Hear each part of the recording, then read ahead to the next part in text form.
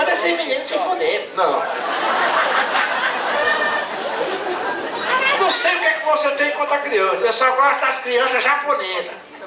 Por quê? Quando eu tô acordado, elas estão dormindo.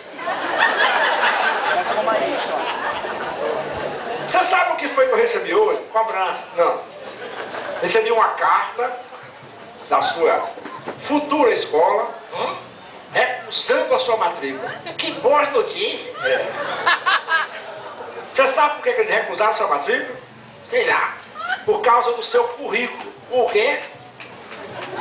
Por causa do seu histórico escolar. Qual o problema? Você foi expulso em 2011 de quatro escolas. Tu acha pouco? E a culpa é minha. Não. No mês de março, começo do ano letivo, ele foi expulso da primeira escola. Diga qual foi o problema. Hum? Diga por que foi que você foi expulso. Tava fumando no corredor.